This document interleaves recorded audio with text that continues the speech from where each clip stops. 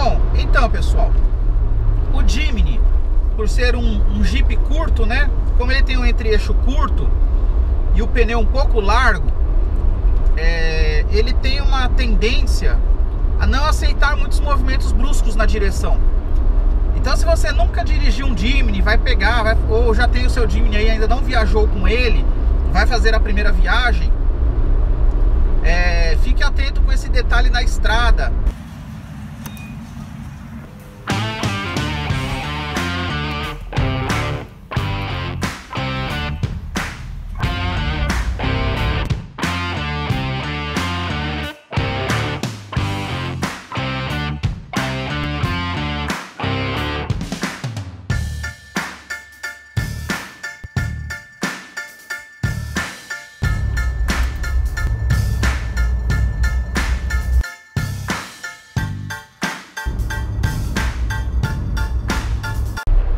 Isso aí então, pessoal. Agora a gente está se aproximando aqui da Serrinha de Corumbataí.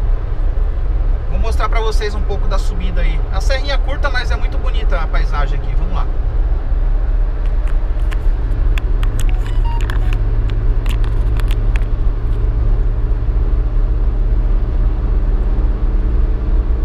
Vamos vir com ele em quinta. Aqui a... são 4 km de serra recomendado aí subir a 90 km por hora. Jimmy já vem vindo a 100, vamos subir aí, vamos ver como que ele vai se comportar aí. Que a curiosidade de alguns, alguns inscritos aí, né? Sobre ele, como ele se comportaria na serra. Então vamos lá. Os caminhões pesados aí já pendurados aí na subida, né? Ó. Já viemos para a velocidade recomendada da via aqui, que são 90 km por hora. Aí em quinta ele vem bem, ó mantendo uns 80, 90.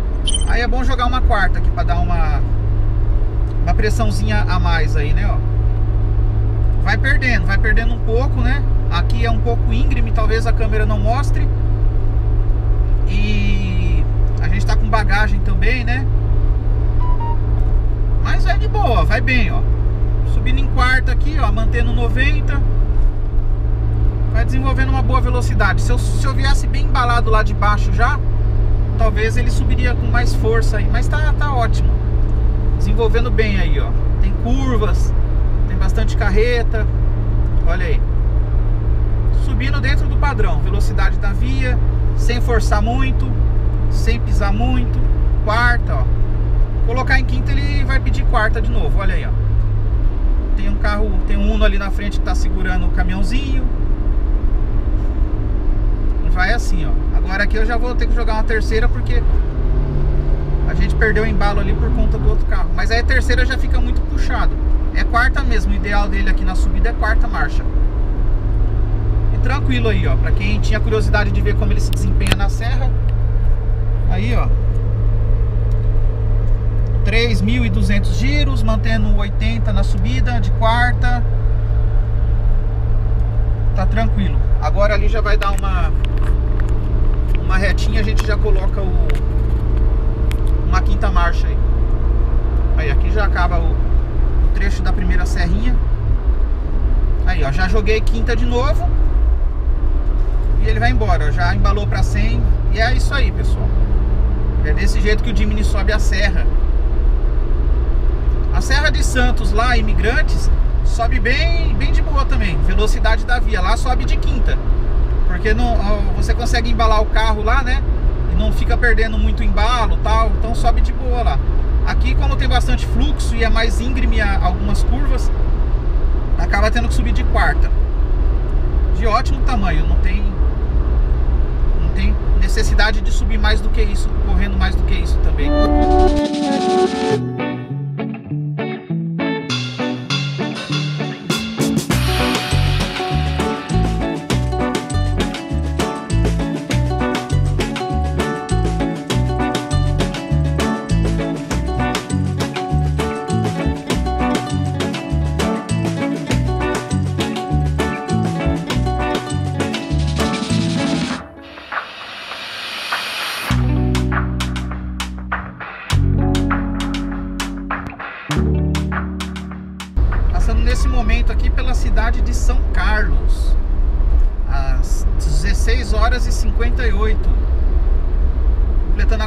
Horas e meia de viagem, 245 quilômetros.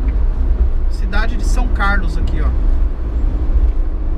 E o Jimmy a todo vapor. A Glaucia tá adorando aqui o Jimny, ó. Quem não gosta, né? É um carrinho muito bacana, gente. Carrinho bem divertido mesmo, bem legal de andar. Se você tem dúvida aí de pegar um aí, ó, não fique pensando muito, viu? Questão de espaço, como eu já mostrei aí, vocês viram que dá pra se virar e é isso aí. Carrinho bem divertido. Olha aí a loja da Avan aqui, as margens da Washington Luiz. E é isso aí, vamos lá. Daqui a pouquinho mostrar aí um, um belo pôr do sol aí, provavelmente, para vocês.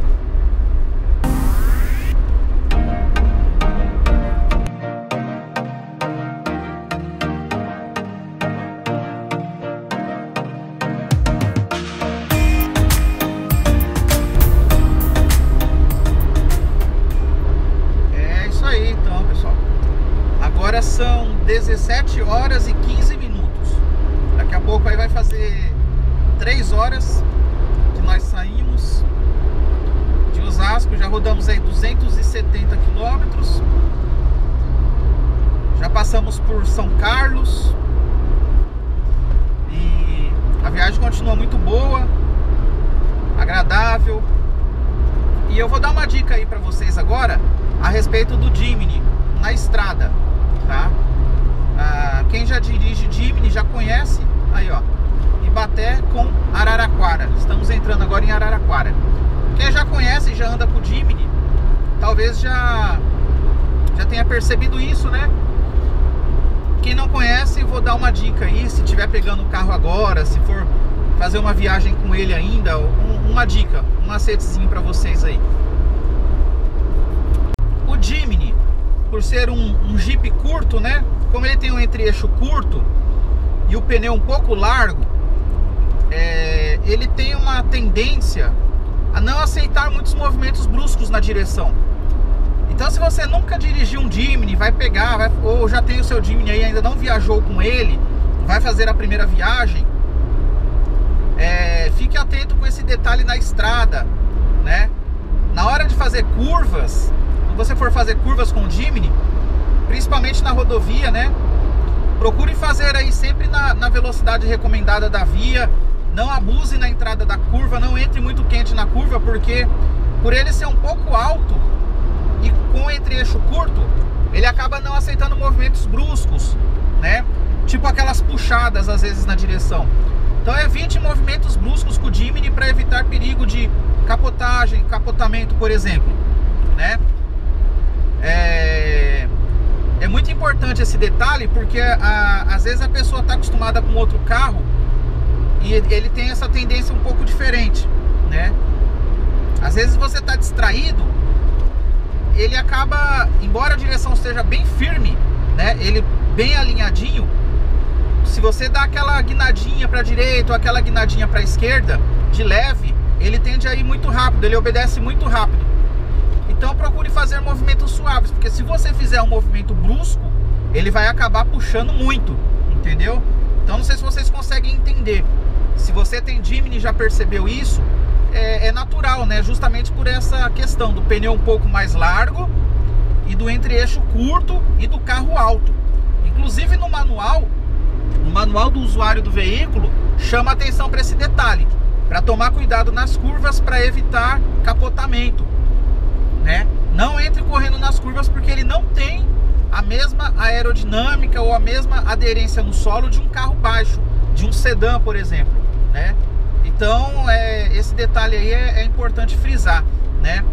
Ah, você tem que estar sempre atento, sempre ligado no que você de fato está fazendo na direção. Não se distraia, né?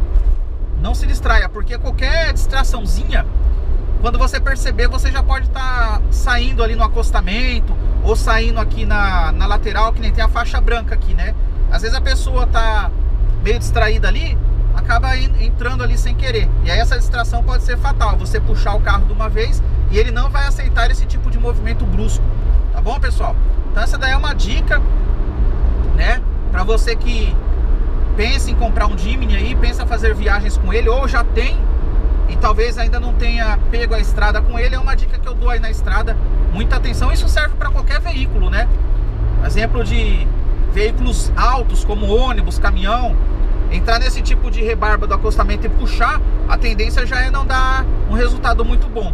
Ainda mais num caso do Jimny, que além de ser curtinho e alto, ele é muito leve. Então, fica atento com esse detalhe. E o fato, inclusive, do pneu ser largo acaba contribuindo para isso, né?